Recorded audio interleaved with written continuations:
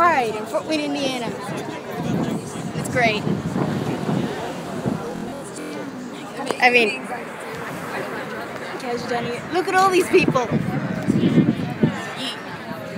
There's so many people here. It's awesome.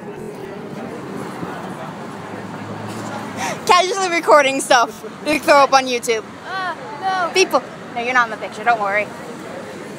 But like, I mean, there's a there with cat ears and a rainbow flag. That's awesome.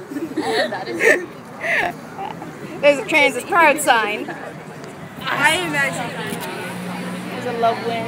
There's, there's just come, but she went. so much stuff here, and it's great.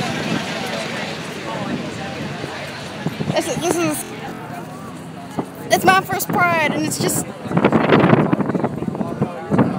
this is just beautiful. Honestly, it's just beautiful. It's beautiful. That's what it is. First for me too. Woo!